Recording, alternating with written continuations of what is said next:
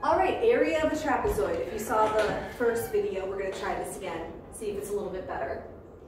Lesson 75. So, we know parallelograms, that includes squares, rectangles, uh, rhombuses. We know that their bases are the same because they have two sets of parallel sides.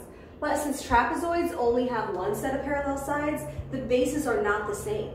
So instead of just doing base times height, we can't do that because the bases aren't the same. So what we do is we find the average of the two bases and then we multiply by the height.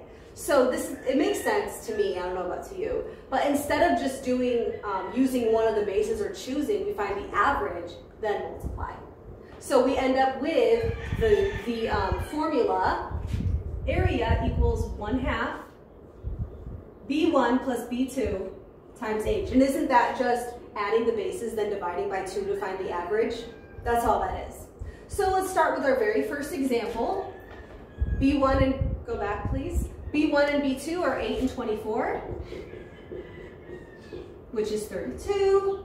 Half of that is 16, and then we multiply by 12. Now, I'm just going to give this little plug to distributive property. I don't know 16 times 12 like that. Maybe I should, maybe I shouldn't. I don't know. But if I do 10 plus 2, I know 16 times 10, and I, do, I know 16 times 2.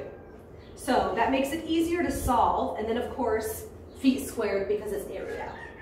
But um, the biggest thing to know is that you're adding them together and then halving or dividing by 2. Next, they don't even give us the actual trapezoid, they just tell us the bases are 12 and 18 and the height is 8. So 12 plus 18 is 30. Half of that is 15. Then multiply by 8, and that's 8 times 10 plus 5. You're going to keep doing this until you like it. 80 plus 40 equals 120 centimeters squared. And that's trapezoids. All you have to do is add the bases, divide by 2, and let's make it very clear the bases are the two that are parallel to each other, not the other two.